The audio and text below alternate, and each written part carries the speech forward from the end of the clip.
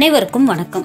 இன்னைக்கு நாம கனவு காணும்போது நம்ம கனவுல தண்ணீர் வந்தால் அதற்கான என்ன பலன்கள் அப்படிங்கறத பத்தி தான் நாம பார்க்க போறோம். நாம் காணுகிற ஒவ்வொரு கனவிற்கும் பின்னாலேயுமே ஒவ்வொரு காரணம் இருக்குங்க. இவை மனோதத்துவ ரீதியில் நிரூபிக்கப்பட்டவையும் கூட.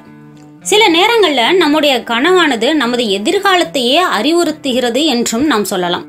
அந்த வகையில உங்கள் கனவில் தண்ணீர் வந்தால் என்ன பலன் அப்படிங்கறத பத்தி இன்னைக்கு நாம பார்க்க போறோம்.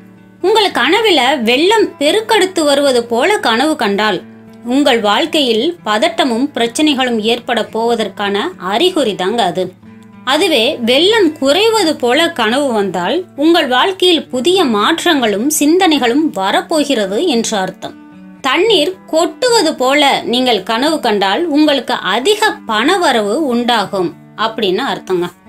மரங்கள் மற்றும் செடிகளுக்கு நீங்கள் தண்ணீர் ஊற்றுவது போல தண்ணீர் விடுவது போல நீங்கள் கனவு கண்டால் உங்களுக்கு வந்து நன்மை செய்ய பலரும் தேடி வருகிறார்கள் என்று அர்த்தம்.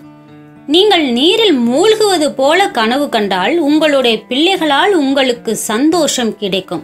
அதாவது சந்தோஷத்தில் நீங்கள் மூழ்கப் போகிறீர்கள் என்று அர்த்தம். தண்ணீர் மிதமான வேகத்தில் பாய்வது போல நீங்கள் கனவு கண்டால் உங்கள் வாழ்க்கையில் இருக்கும் பிரச்சனைகள் தீரும்.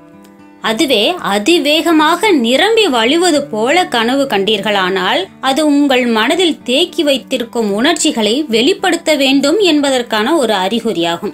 என்ன நண்பர்களே உங்கள் கனவில் தண்ணீர் வந்தால் என்ன பலன் என்று அறிந்து கொண்டீர்களா? நன்றி நண்பர்களே.